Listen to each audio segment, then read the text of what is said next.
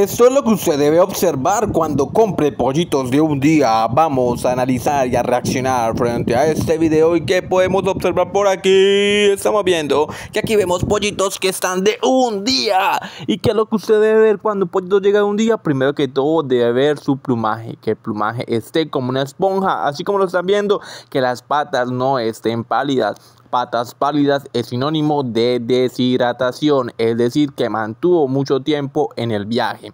Y esto pues causa que el pollo ya pierda su energía y llegue un pollo muy debilitado. Por otro lado, también debemos observar que tenga una buena conformación del ojo, que tenga un ojo redondo, lo cual significa que no está contaminado y el pico que no esté rojo, un pico que esté totalmente clarito y que no tiene puntos rojos significa que rompió el cascarón sin ninguna dificultad. Sígueme para más consejos.